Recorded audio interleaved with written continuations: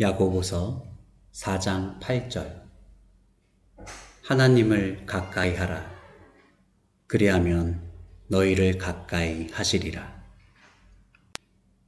사람들에게 하나님의 진리의 반응을 볼 수 있는 기회를 주는 것은 너무나 중요합니다. 물론 진리의 반응을 해야 하는 책임은 각 개인에게 달려있는 것이지 당신이 다른 사람 대신 반응할 수는 없습니다. 각 사람 자신의 온 마음을 다하는 반응이 있어야 합니다. 복음의 메시지는 언제나 사람이 반응하도록 인도합니다. 그러나 어떤 사람이 복음에 대한 반응을 거절하는 마비 상태라면 그에게는 아무런 변화가 나타나지 않습니다. 그래서 복음을 듣기 전의 상태로 정확하게 돌아갑니다. 그러나 복음의 진리에 반응하면 그는 전혀 다른 사람이 됩니다. 성령에 의해 죄의 가책을 받은 사람 중에는 복음의 진리가 매우 어리석은 것처럼 생각되어져서 결국 복음에 반응하지 않는 사람들도 있습니다. 그러나 누구든지 자신을 재촉하여 반응하면 그는 그 즉시 살게 됩니다. 그의 남은 모든 삶은 살아 존재하면 되는 것입니다.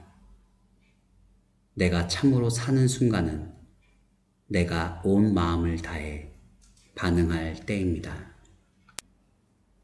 하나님의 진리가 당신의 영혼에 임하였을 때 그 진리에 반응하십시오. 그렇지 않으면 그 진리는 그냥 떠내려 가게 됩니다. 반드시 외적으로 보이지는 않더라도 의지로 반응하십시오. 그 결단을 잉크와 피로 기록해 두십시오. 아무리 연약한 성도라도 그가 반응하는 순간에 예수 그리스도와 관계하게 되면서 자유하게 됩니다.